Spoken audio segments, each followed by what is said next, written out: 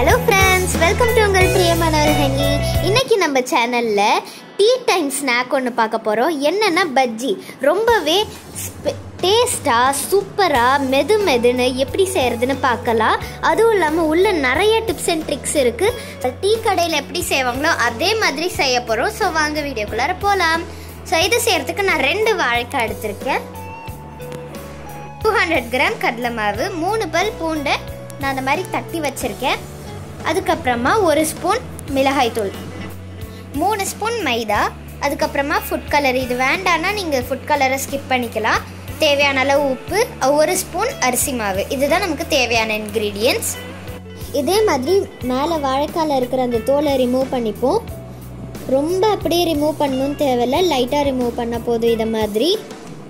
நாங்கள் நைஃபால் யூஸ் பண்ணுறதை விட இது மாதிரி யூஸ் பண்ணுறது கொஞ்சம் கன்வீனியண்ட்டாக ஈஸியாக இருக்கிறதுனால இதை யூஸ் பண்ணுறோம் இது மாதிரி நம்ம தோலை எல்லாத்தையும் ரிமூவ் பண்ணிடுவோம். இது மாதிரி நம்ம ஃபுல்லாக தோலை ரிமூவ் பண்ணாததுனால கடையில் கிடைக்கிற அந்த லுக் அண்ட் ஃபீல் அந்த ஸ்ட்ரக்சர்லாம் நமக்கு கிடைக்கும். ஒரு மிக்சிங் பவுலில் நான் டூ ஹண்ட்ரட் கிராம் கடலை மாவை சேர்த்துக்கிறேன். அதுக்கப்புறமா மூணு ஸ்பூன் மைதா ஒரு ஸ்பூன் அரிசி மாவு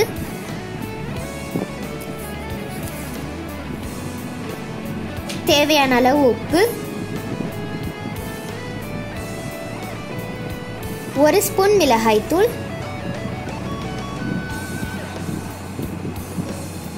அதுக்கப்புறமா நம்ம மூணு பல் பூண்டு தட்டினால அதை சேர்த்துப்போம். நிறைய வீட்டில் வந்து பெருங்காயம் சேர்ப்பாங்க. ஆனால் நீங்கள் பூண்டு சேர்த்திங்கன்னா கடையில் நம்ம வாங்குற அந்த ஃப்ளேவர் இருக்கும் இந்த பஜ்ஜியில் அதுக்கப்புறமா ஃபுட் கலர் இது வேண்டானா நீங்கள் ஸ்கிப் பண்ணிக்கலாம். இப்போ இந்த மாவு எல்லாத்தையும் நம்ம நல்லா மிக்ஸ் பண்ணிப்போம்.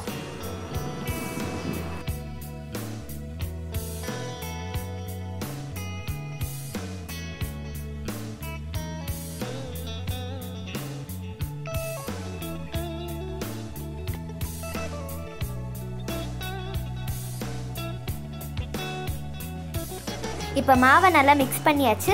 இதில் இப்போ நம்ம கொஞ்சம் கொஞ்சமாக தண்ணி சேர்த்து மிக்ஸ் பண்ணிப்போம். இது ரொம்ப தண்ணியாக இருக்கக்கூடாது.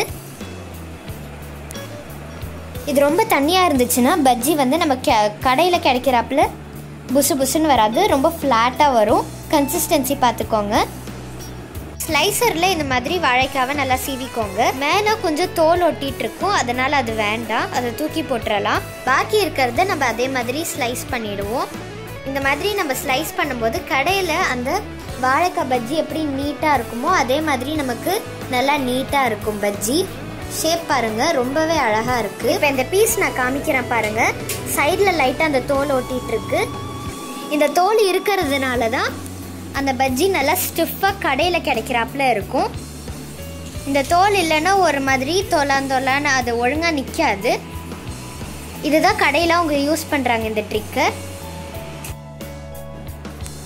இப்போ பாருங்கள் ஷேப் பார்க்க ரொம்ப அழகாக இருக்குது ரொம்பவே சூப்பராக இருக்குது அந்த ஷேப்பு அது மெல்லிசா தின்னா ஸ்டிப்பாக இருக்குது பாருங்கள் இப்போ நம்ம செஞ்சு வச்சுருந்தாலும் அந்த பேட்டரில் நம்ம நல்லா டிப் பண்ணிவிட்டு ரெடியாக இருக்கிற எண்ணெயில் இந்த மாதிரி பொறிச்சு எடுத்துருவோம் எல்லாத்தையும்.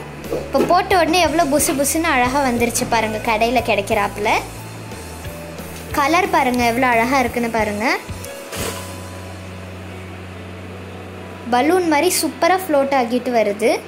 எல்லாரும் பஜ்ஜி செய்யறதுல மைதா மாவு யூஸ் பண்ண மாட்டாங்க. இதில் நம்ம மைதா மாவு சேர்த்துருக்கிறதுனால சோடா உப்பு சேர்க்க தேவையில்லை. ஏன்னா அந்த மைதா மாவே நல்லா புசு புசுன்னு கொண்டு வந்துடும் ஸோ இப்போ இதே மாதிரி நான் எல்லா ஸ்லைசஸும் டிப் பண்ணி பொரிச்சு எடுத்துக்கிறேன். எவ்வளோ ஃபாஸ்ட்டாக ரெடி ஆகிடுத்து பாருங்கள் டக்குன்னு செஞ்சிடலாம். அவ்வளோ ஈஸியான ரெசிபி இதில் நீங்கள் பார்த்தீங்கன்னா நம்ம சோடா உப்பு எதுவுமே சேர்க்கல. அவ்வளோ புசு புசுன்னு டேஸ்ட்டாக கிடச்சிடும்.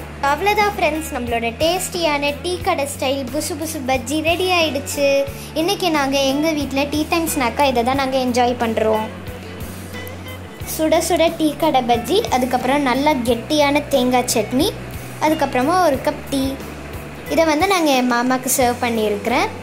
எல்லாருமே ரொம்ப என்ஜாய் பண்ணி சாப்பிட்றாங்க. நீங்களும் கண்டிப்பாக இந்த ரெசிப்பியை ட்ரை பண்ணி பாருங்கள் உங்களுக்கு நிஜமாவே ரொம்ப பிடிச்சிருக்கும்.